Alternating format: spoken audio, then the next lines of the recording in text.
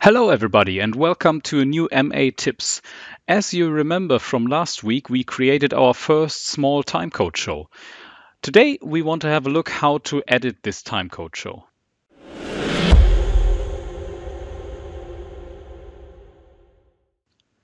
First of all, we can see different view modes in our timecode window. So we can change from timeline to the timeline and text or only the text where we can see every event with the regarding time. So we can also make this a little bit bigger where we can change the time or the fader value and our further events like the go plus with the respective time and we can go simply into a cell over here and enter a new value for time or the action we take. But we can also work directly in our timeline. So we change back to the timeline view mode and we enter the setup mode of our timecode window.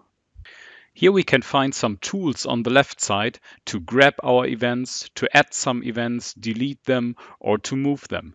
So for example, we select our first Go Plus of the main sequence and we just want to move it around in the timeline. So we use the move tool and then we can drag and drop it and move it to the new time where we want to start it.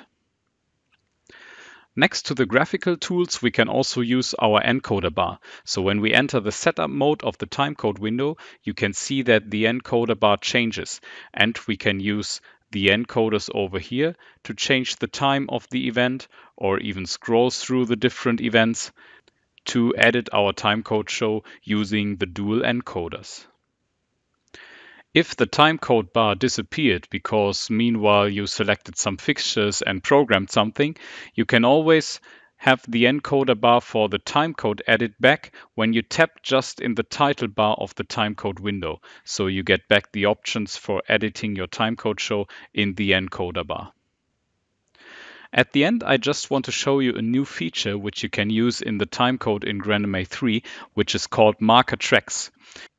If we have a look at our graphical tools here, we can scroll down, remember the two finger scrolling, and we can see the add marker tool over here. With the Add Marker tool, I can mark some specific points in my timecode show. So to have a better overview, for example. You remember my stair bumps? I want to mark them in a different color to know when they appear in my timecode show. So I move my cursor to those stair bumps and I can add a marker over here.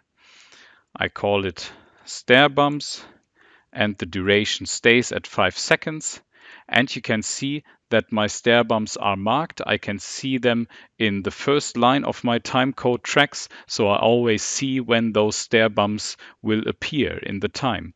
The great thing is that now I can use this marker track to give a new appearance, for example. So I want to mark them in green.